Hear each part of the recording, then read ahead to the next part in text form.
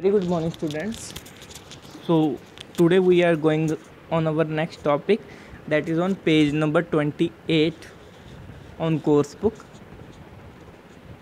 तो हमने कल इंटरचेंजेबल प्रॉपर्टीज़ के बारे में पढ़ा था सॉलिड की लिक्विड में लिक्विड की गैसेस में और गैसेस की लिक्विड में लिक्विड की सॉलिड में। ठीक है? तो हमें एक चीज़ तो पता लग गई देखो क्या? कि अगर सॉलिड को हम गर्म करते हैं तो वो क्या करता है? लिक्विड में चला जाता है। कैसे? आपने कल देखा था कि अगर हम आइस को फ्रिज के बाहर रख देंगे तो वो क्या होगा? गर्मी में पानी बन जाएगा। आपको पता ही होगा।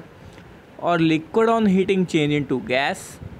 हमने ये चीज़ कल पता की थी। वही चीज़ें मैं बोल रहा हूँ। लिक्विड, देखो, आपने एक पानी का बाउल लिया और उसको हीट अप किया गैस पे। तो वो क्या होगा, उसमें से वाटर वेपर्स निकलने स्टार्ट हो जाएँगे। ये भी सही है। Gas on cooling change into liquid अगर उन वाटर वेपर्स को जो इवेपोरेट हो गए, हमने देखा था कल कि वो ठंडे होके क्या बन जाते हैं रेन ड्रॉप्स बन जाते हैं और अर्थ पे वापस आ जाते हैं। इसके कारण ही रेन होती है।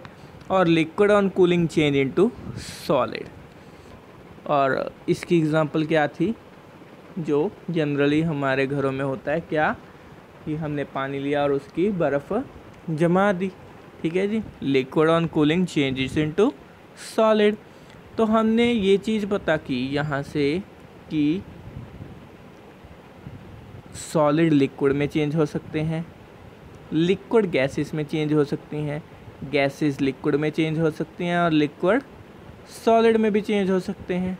मतलब all the states are interchangeable मेरे कहने का मतलब सिर्फ़ ये है कि all the states are changeable कोई भी स्टेट चेंज हो सकती है किसी दूसरी स्टेट में। अच्छा क्या ये सिर्फ़ वाटर पे अप्लाई होता है रूल कि सॉलिड में हो जाएगा, फिर लिक्विड में या गैस में? जी नहीं। बटर में भी सेम केस होता है और वैक्स में भी सेम केस होता है। उसके बाद हमारा एक लास्ट टॉपिक बचता है, कौन सा? सल्यूशंस अच्छा सल्यूशंस तो आप लोगों को वैसे तो आता ही होगा। क्या आप लोगों ने घर पे देखा होगा क्या कि आजकल वैसे भी गर्मी चल रही है तो घर में आपने क्या किया? एक पानी का गिलास लिया। या जैसे यहाँ पे शो हो रहा है वैसे। ठीक है, उसमें आपने क्या की? चीनी डाल दी। आपने क्या किया? थोड़ी देर चम्मच को हिलाया पानी में और आपने देखा कि चीनी तो गायब हो गई। कैसे? ये क्या हुआ? चीनी कहाँ गई? उड़ गई? नहीं। जी तो कहाँ गई? पानी मीठा मीठा हो गया। क्यों? मतलब ये हुआ कि जो हमने चीनी डाली थी, वो पानी में कहीं छुप गई। पर ऐसे कैसे छुप गई? कोई तो चीज़ होती होगी ना? तो यही है हमारा टॉपिक सल्यूशंस तो कोई भी सल्यूशन देखो बच्चे कोई भी सोल्यूशन जब फॉर्म होता है तो वो दो चीज़ों से मिलके बनता है। First is solute and second is solvent उससे मिलके क्या बनता है? सोल्यूशन अच्छा ये सॉल्यूट क्या है? ये सॉल्वेंट क्या है? और ये सोल्यूशन क्या है? हमें कैसे पता चलेगा जी? हाँ जी, कि ये सोल्यूट कैसे, क्या है? सॉल्वेंट क्या है? और सोल्यूशन क्या है? ये पानी और चीनी में सोल्यूट कौन सा था और सॉल्वेंट कौन सा था और सोल्यूशन कौन सा है? पर कैसे पता चलेगा? जो भी चीज़ आपके पास लेस अमाउंट में अवेलेबल होगी, अगर आप पानी में चीनी घोलते हो तो चीनी ज़्यादा लेते हो या पानी ज़्यादा लेते हो? ऑब्वियसली पानी। तो चीनी क्या है? कम मतलब जो सोल्यूट है वो क्या है? हमारी शुगर या चीनी। सॉल्वेंट वो चीज़ होती है जो लार्ज अमाउंट में ली जाती है। जनरली आप ये समझ लो एक बार। ठीक है? आपको सल्यूट और सॉल्वेंट में इजीली पता लग जाएगा कि कौन सा सल्यूट है और कौन सा सॉल्वेंट है। और जब किसी सब्सटेंस में दो चीज़ें मिल जाती हैं तो उसको क्या बोलते हैं? सल्यूशन बोलते हैं। ठीक है जी? और सल्यूशन जो होगा वो सल्यूट और सॉल्वेंट का रिज़ल्ट होगा। दोनों की प्रॉपर्टीज़ होंगी। अच्छा सोल्यूशन के बारे में थोड़ा सा और विस्तार में आपको बताता हूँ क्या? कि solution is a mixture in which one substance dissolve into another देखो, यही होगा।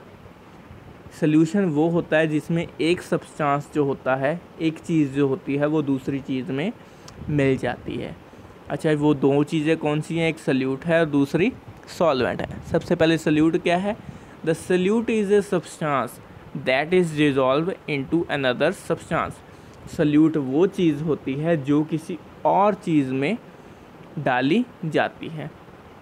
और solvent the solvent is a substance that dissolve the other substance solvent वो चीज़ होती है, वो सब्सटेंस होता है जो किसी और चीज़ को अपने अंदर मिला लेता है। ठीक है जी? तो इस दोनों चीज़ों को जोड़ के क्या बनता है? हमारा सल्यूशन बनता है। देखो, आपने ये चीज़ भी देखी होगी कि अगर हम थोड़ी सी चीनी डालते एक चम्मच, हमने पानी में एक चम्मच चीनी डाली, ठीक है जी? हमने हिला दी, वो गायब हो गई। चलो जी, बहुत बढ़िया। हमने क्या किया? एक चम्मच चीनी और डाल दी, वो भी घुमा दी, वो भी गायब हो गई। आपने बोला कि ये तो जादू हो रहा है। आपने क्या किया? एक तीसरी चम्मच और डाल दी चीनी की, ठीक है? तो आपने देखा कि अब की बार आधी चीनी मिक्स हो गई और आधी चीनी रह गई। अच्छा ये क्यों? क्यों? ये क्यों नहीं छुपी वहाँ पे पानी में? ऐसा क्या है इस चीनी में? मतलब ये चीनी ख़राब है? नहीं। तो हर एक सल्यूट, एक, हर एक सॉल्वेंट की एक प्रॉपर्टी होती है कि वो इतने अमाउंट ही वो सल्यूट इत सल्यूट को अपने अंदर डिज़ोल्व कर सकती है।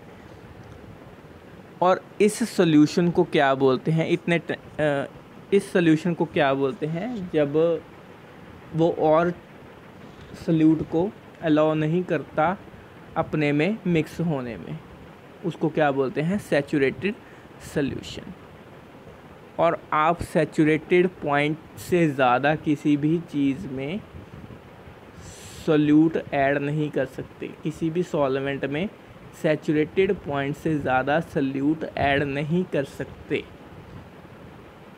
ठीक है जी, जैसे आप पानी में दो चम्मच चीनी ही ऐड कर सकते हो। एग्ज़ाम्पल है सिर्फ़। कर सकते हो ज़्यादा भी। एक एग्ज़ाम्पल है कि आप दो चम्मच अगर उसकी कैपेसिटी है तो दो चम्मच ही ऐड कर सकते हो। तीसरी चम्मच डालोगे तो चीनी ऊपर ऊपर रह जाएगी। ठीक है जी? Thank you students